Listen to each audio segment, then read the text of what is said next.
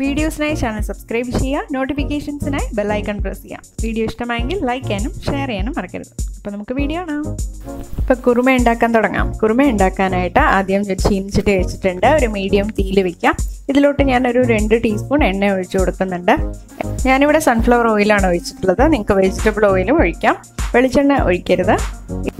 എണ്ണ ചൂടാകുമ്പോഴത്തേക്ക് ഇതിലോട്ട് ഞാനൊരു രണ്ട് കഷ്ണം പട്ടയും രണ്ട് ഏലക്കയും ഇട്ട് കൊടുക്കുന്നുണ്ട്. ഇനി ഇതിലോട്ട് സവാള അരിഞ്ഞിട്ട് കൊടുക്കാം. നീളത്തിലാണ് അരിഞ്ഞിട്ടുള്ളത്.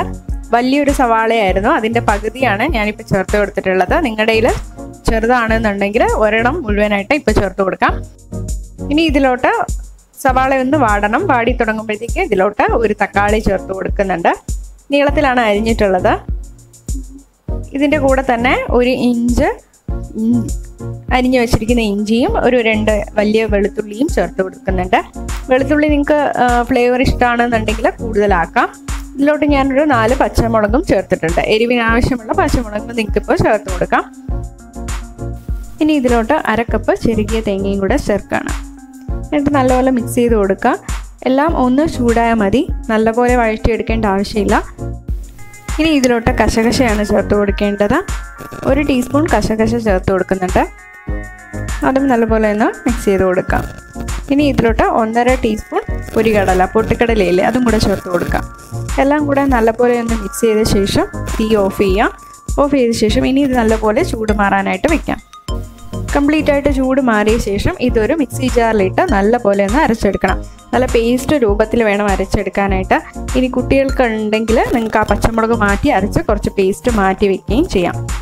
ഇനി ഇതിലോട്ട് കുറച്ച് വെള്ളം കൂടെ ചേർക്കാണ് അരച്ചെടുക്കാനായിട്ട്. ആവശ്യത്തിന് ഒരു കാൽ കപ്പ് വെള്ളവും കൂടെ ചേർത്ത് കൊടുക്കാം. നല്ലപോലെ ഇന്ന് അരച്ച് വെച്ചിട്ട് മാറ്റി വയ്ക്കാം ഇനി നമുക്ക് പച്ചക്കറിയൊക്കെ എല്ലാം കൂടെ ഒന്ന് വേവിച്ചെടുക്കണം. അതിനായിട്ട് ഒരു കുക്കർ എടുത്തിട്ടുണ്ട്. ഇതിലോട്ട് ഒരു ടീസ്പൂൺ എണ്ണ ഒഴിച്ചു കൊടുക്കാം. എണ്ണ ഇനി നല്ലപോലെ ചൂടാവട്ടെ. ചൂടായ ശേഷം ഇതിലോട്ട് ഒരു സ്റ്റാറാണ് ഇട്ട് കൊടുക്കേണ്ടത്. എണ്ണ നല്ലോണം ചൂടായിട്ടുണ്ട്. നമുക്കൊരു സ്റ്റാർ ഇട്ട് കൊടുത്ത് അതിന്റെ ഒരു പച്ചമണം മാറാനായിട്ട് ഒന്ന് എണ്ണയിൽ ഇട്ടൊന്ന് മൂപ്പിച്ചെടുക്കാം.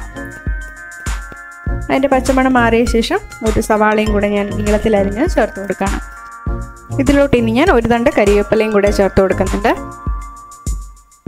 ഇനി സവാള സവാളയൊന്ന് ചെറുതായിട്ടൊന്ന് വാടണം. ഇതിലോട്ട് ഇനി ഒരു തക്കാളി ചെറുതായിട്ട് അരിഞ്ഞതും കൂടെ ചേർത്ത് കൊടുക്കുന്നുണ്ട്. അതുമൊന്ന് ഈ സവാളയുടെ കൂടെയും കരിവേപ്പിലയുടെ കൂടെയൊക്കെ ഒന്ന് മിക്സാക്കി എടുക്കാം.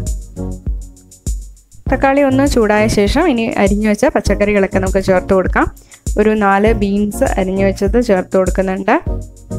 അതും ചെറുതായിട്ടാണ് അരിഞ്ഞിട്ടുള്ളത്. പിന്നെ ഒരു വലിയ ക്യാരറ്റ് ചേർത്ത് കൊടുക്കുന്നുണ്ട് അരിഞ്ഞത്. ഇനി ഇതിന്റെ കൂടെ രണ്ട് ഉരുളക്കിഴങ്ങ് കൂടെ ചേർത്ത് കൊടുക്കുന്നുണ്ട്. നിങ്ങളുടെ ചോയ്സിനനുസരിച്ചിട്ട് വെജിറ്റബിൾസ് ഇതിൽ ചേർത്ത് കൊടുക്കാം. കോളിഫ്ലവർ പനീറും ഒക്കെ തന്നെ ചേർത്ത് കൊടുക്കാം. ഇനി ഇത് നല്ലപോലെ ഒന്ന് മിക്സ് ചെയ്ത് കൊടുക്കാം. ഇതിലോട്ട് ഞാൻ ഇനി ഒരു പിടി ഫ്രോസൺ ഗ്രീൻ പീസും കൂടെ ചേർത്ത് കൊടുക്കുകയാണ് അതിന്റെ തണുപ്പ് മാറാനായിട്ട് നേരത്തെ തന്നെ വെള്ളത്തിൽ ഇട്ട് വെച്ചിട്ടുണ്ടായിരുന്നു.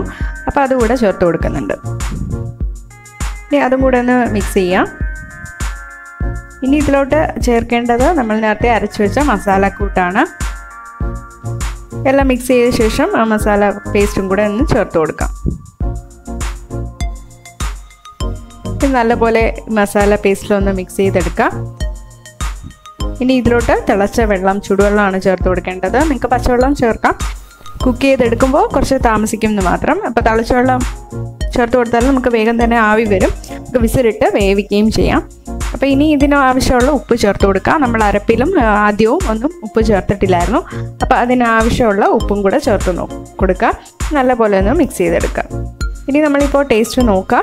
പുളി ഉണ്ടോ നോക്കുക. പുളി നമ്മൾ തക്കാളി ചേർത്തിട്ടുണ്ട് അരപ്പിലും. അല്ലാതെയും തക്കാളി ചേർത്തിട്ടുണ്ട്. ഇനിയും പുളി ആവശ്യമുണ്ടെന്നുണ്ടെങ്കിൽ നിങ്ങൾക്ക് കുറച്ച് തൈര് നല്ലപോലെ ഫോർക്ക് വെച്ചിട്ട് നല്ലപോലെ ബീറ്റ് ചെയ്ത ശേഷം ഇതിലോട്ട് ചേർത്ത് കൊടുക്കാം. ഇനി കുക്കർ അടച്ച് വയ്ക്കാം കുക്കർ അടച്ചു വെച്ച ശേഷം ആവി വന്ന ശേഷം വിസിലിടുക ഒരു ഒരു വിസിലിൽ നമുക്ക് കറി റെഡിയാവും. ചൂടാറിയ ശേഷം വിസിൽ തുറന്ന് നമുക്ക് നോക്കാം. കറി റെഡി ആയിട്ടുണ്ട്. സൈഡിലൊക്കെ എണ്ണ നല്ലതോളം തെളിഞ്ഞു വന്നിട്ടുണ്ട്. ഇപ്പോൾ സ്റ്റാർ കറക്റ്റ് മുകളിൽ വന്നിട്ടുണ്ട്. അതങ്ങ് എടുത്ത് മാറ്റാം. ഇനി ഇതിലോട്ട് മല്ലിയിലയും കൂടെ അരിഞ്ഞു ചേർത്താൽ നമ്മുടെ കറി റെഡിയായി ചപ്പാത്തിക്കും ഇടിയപ്പത്തിനും പൊറോട്ടയ്ക്കും ഒക്കെ നല്ല ടേസ്റ്റി ആയിട്ടുള്ള കറിയാണ്. ഈസി ആയിട്ട് ഉണ്ടാക്കാനും പറ്റും. കുട്ടികൾക്കായിട്ട് എരിവില്ലാത്ത അരപ്പും പച്ചക്കറിയും ഇതേ കുക്കറിലിട്ട് ഒരു വിസിലും കൂടെ ഉണ്ടാക്കിയെടുത്താൽ അവർക്കുള്ള കറിയും റെഡിയായി. അപ്പോൾ എല്ലാവരും ട്രൈ ചെയ്ത് നോക്കുക. നിങ്ങളുടെ നിർദ്ദേശങ്ങളൊക്കെ കമന്റ് ബോക്സിൽ കമന്റ് ചെയ്യാം. താങ്ക്